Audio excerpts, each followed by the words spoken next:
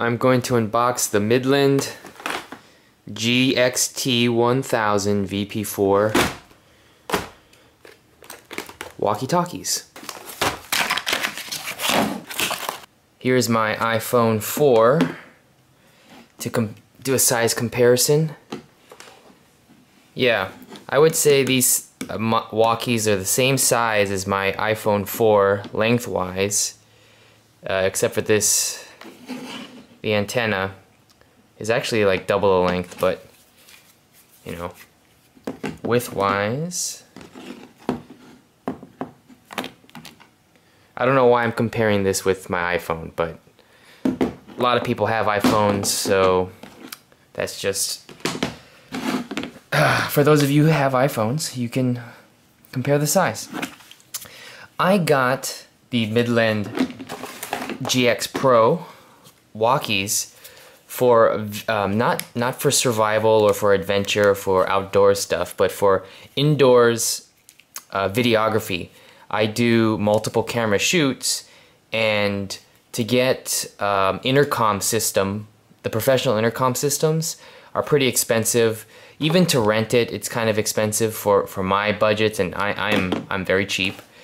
So I decided to invest in these um, multifunctional walkies and use them for uh, my camera operators uh, to talk back and forth during a shoot, during a live event.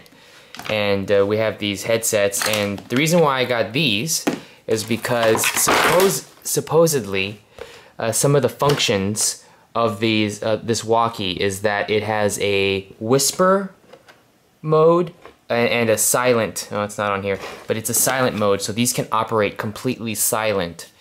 And uh, so no one during the event will hear my camera operators talking to each other or me talking to the camera operators.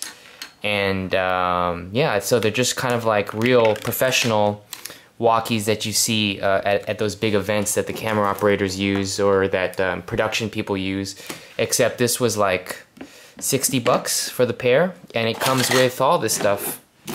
Charger batteries.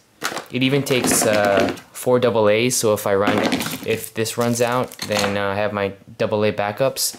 And then um, since Midland is a huge manufacturer of all things walkies uh, I have um, more options for these accessories headphones accessories. So I don't I'm not just locked into this dinky little one headpiece and plus, I don't want, you know, all the um, wax ear stuff from my camera operators getting on here. The reusability, need to keep the reusability up. And then also, you know, I could use this if I do go hiking. Um, I can use this set right here. And uh, I'll feel safe, kind of. Um, I think another thing that I might use it for is if I'm shooting uh, doing a short film or some kind of production in a, in vehicles, in multiple vehicles, I can put one walkie and the other walkie in other vehicles and then communicate to the cars um, using these walkies. I think that it's a good idea.